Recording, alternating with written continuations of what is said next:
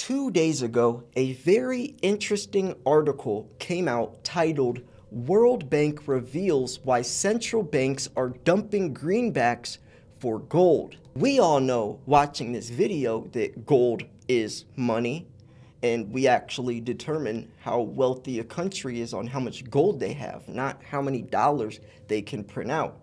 But even though we know that, I'm curious of the explanation the World Bank is giving on why central banks are dumping greenbacks for gold. So without further ado, let's dive straight into this article and make sure you watch this video until the end because we do know there was record amounts of gold being bought by all the world's central banks, but I'm curious to see if the World Bank revealing this is going to be as truthful as possible or if there's going to be some narrative shifting. I say that because gold and silver are a direct threat to the dollar when you take that fiat, that fake worthless money that's backed by nothing, and put it into gold and silver, you've taken the control and the power away from them and put it into your own hands. And they don't want you knowing that. So let's see the reasons of why they say these central banks are all doing it. Kitco News, a recent publication from the World Bank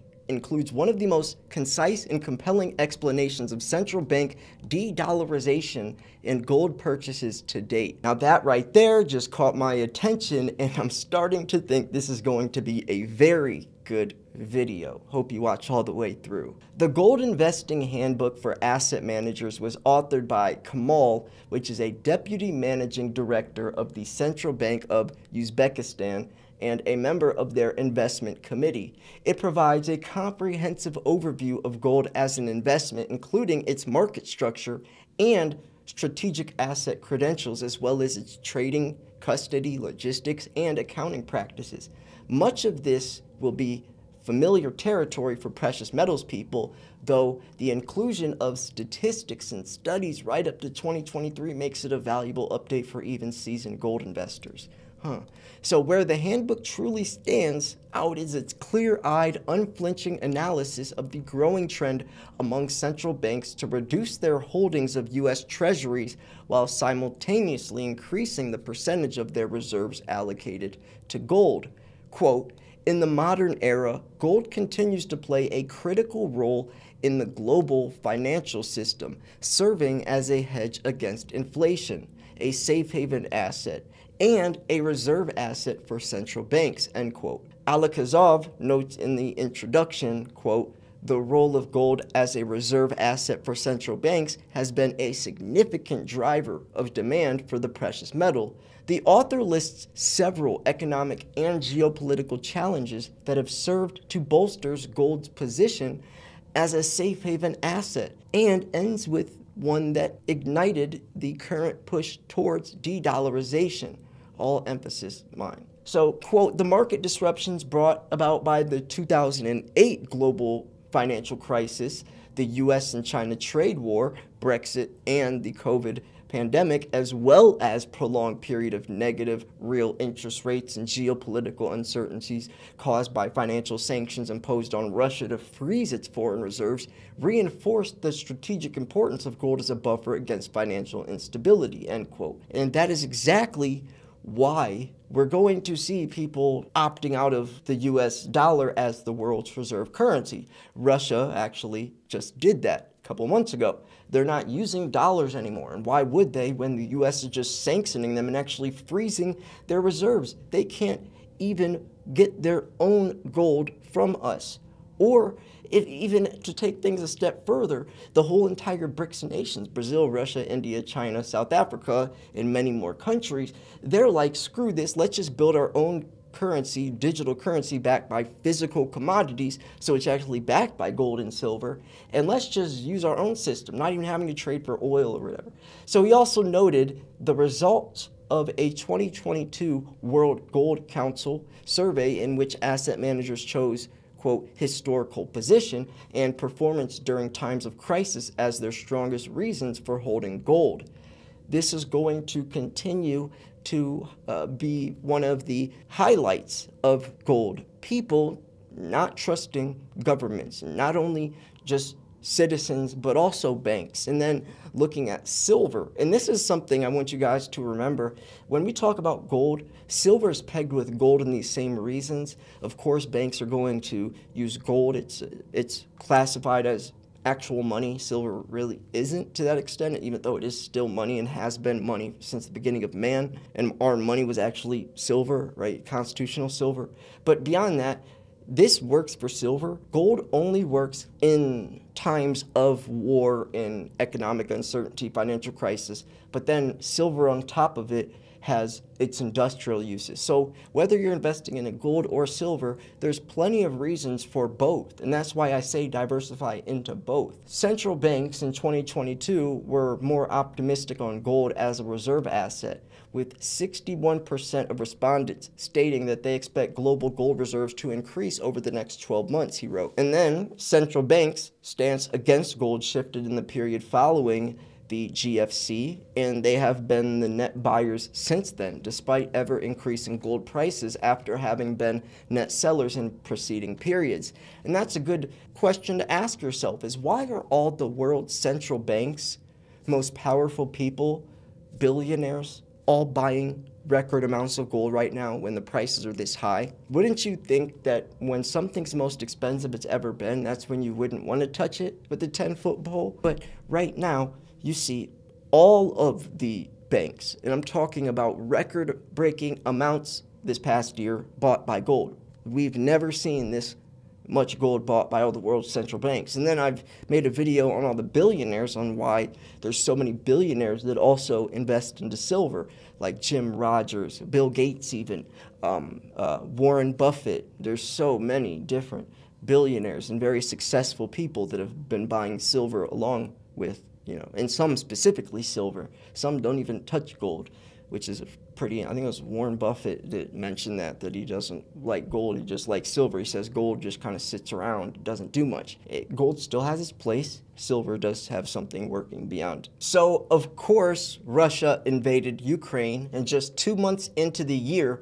with the United States and its allies levying the first wave of account freezes, asset seizures, and sanctions against Moscow in the weeks and months that followed. You know, so think about this. You have another country freezing your accounts and your assets, saying, no, you can't have your gold, you can't have your money. Imagine that. Imagine how frustrating that. And didn't it take like seven years? Um, I forget which country it was. Uh, it took seven years. So the section of the handbook devoted to geopolitical considerations goes into greater detail in how and why central banks are increasingly trading their greenbacks for gold. So the uh, the reporter noted that research has established a positive relationship between gold prices and geopolitical risks. Now, we all know that, of course. In times of economic uncertainty, people are going to invest into safe haven assets. The, the research distinguishes between expected or perceived geopolitical risk and actual or realized geopolitical risk, concluding that the latter is more important in driving gold prices. That is actually something that I'm glad to hear. You guys know there's an S word that I absolutely hate. That S word is speculation. There should be no reason for prices to move so drastically and dramatically based off of just perception of, of the economy. I I don't like how something that has fundamental value, fundamental meaning supply and demand being the main driver of the prices are being affected so much by people with with a lot of times false information or misleading ideas that aren't even true most of the time being able to affect the price so much. Other research indicates that reserve managers consider gold to be a means of protecting against economic and geopolitical risks, and they therefore tend to increase their gold holdings during times of uncertainty or high geopolitical risk, while reserve managers in emerging markets tend to increase their gold holdings when there is a risk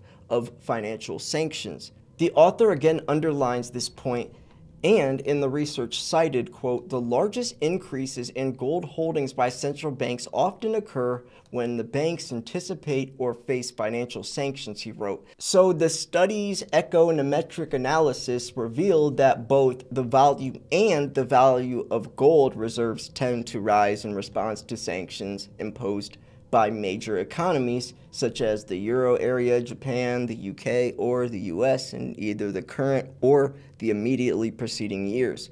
He also provided detailed historical data supporting the assertion that in the wake of the Russia-Ukraine conflict, central banks that most fear Western sanctions are ones driving sovereign gold purchases. And I'm also wondering how much of this has to do with this currency that they are creating because this currency is going to be backed by gold. So, of course, you should be stockpiling lots of gold since this new currency you're creating because of the West and these sanctions and all, you know, these greedy little Americans sticking their hands in everyone's pockets. Of course, you know, that's going to play a huge reason. So, quote, recent sanctions against Russia have raised the possibility that other countries' central banks may shift their reserves from foreign exchanges into gold. Um, and then the author writes, quote, this is because gold is a physical asset that can be stored domestically, unlike foreign exchange reserves, which can be frozen by sanctions. And there we get the actual reason. Finally, there's some truth that is broken down so simply that you cannot deny this is actually what's going on, and this is why. This is why. This is because gold is a physical asset that can be stored domestically, unlike foreign exchange reserves, which can be frozen by sanctions. And with the US sanctioning Russia and sanction after sanction, of course, wouldn't you want your own gold in your backyard compared to leaving it in another country that can freeze it and keep it from you for years upon years? Of course, of course. In half of the 10 highest annual increases in gold stockpiles since 1999, the affected country was sanctioned during the previous year or two. Other cases revealed that the increases occurred in response to unforeseeable political events such as financial crisis or coup attempts, which is consistent with previous findings.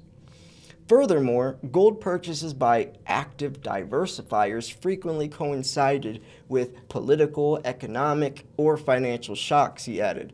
This lends credence to the notion that geopolitical events influence gold price movements and may be linked to fears about future penalties. And then the author thinks this shift towards gold could have a significant implication for the global economy. Quote, if more countries start to hold gold, it could boost the price of gold and make it more expensive for countries to use gold as a reserve asset, end quote. Then he cites research that suggests this may end with the emergence of an entirely new financial paradigm, which is happening. And then here is the, the conclusion, or heading towards it, quote, there's an argument that in the aftermath of Russia's supply side crisis and the sanctions imposed on Russia, the world is transitioning from the Bretton Woods era, which was backed by gold bullion, to Bretton Woods II, which was backed by inside money treasuries with unhedgeable confiscation risks, or Bretton Woods III, which was backed by outside money, gold bullion, and other commodities, he writes, end quote. Then he writes, quote, his belief, or the, the belief, is that Russian sanctions create incentives for central banks to abandon the dollar in favor of gold for governments to cash in their dollar reserves for stocks of other commodities. What do you think those commodities are? So the author concludes the geopolitics sanction or section by noting that the sanctions against Russia highlight the importance of gold as reserve asset. And the last quote it remains to be seen whether other countries will follow Russia's lead and increase their gold holdings, he writes. Two years worth of data and analysis suggests they already are. And that is true because we had record breaking amounts of gold bought by all the world's central banks since this was written, I guess, two years ago, since they say two years worth of data after they are. Very, very, very well written article in that book. I guess um, this is the book, the Gold Investing Handbook for Asset Managers. Was this was a great book? I'm, I mean, if this was only some of the highlights, then man, this is a great book. Very informative. I was skeptical in the beginning, as you know, you heard me say. Let's see how truthful they are, but it, it definitely hit a lot of the points on the head. I mean, it, it, when that last sentence, when they mentioned gold can be stored domestically instead of you know overseas, where the country can freeze your asset and getting sanctions, where you can't even you know, access your assets or your money. Of course, no one wants to do that. Would you want to do that? That's why we stack gold and silver in the first place, because we don't trust our own banking system, let alone another country. So yeah, it makes sense. I'm going to wrap this video up here. Thought this was very, very informative. The article's titled, titled World Bank Reveals Why Central Banks Are Dumping Greenbacks for Gold. So yeah, make sure you like the video, make sure you subscribe. Uh, let me know what you think in the comment section below, and I will see you guys soon. Thanks for tuning in. This is Silver Slayer. I'll see you guys later today or tomorrow morning. Happy Easter, everyone. Peace.